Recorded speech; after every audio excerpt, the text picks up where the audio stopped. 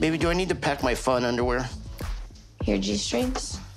Yeah, you can pack your fun underwear. I'm not packing any underwear. You're not wearing any?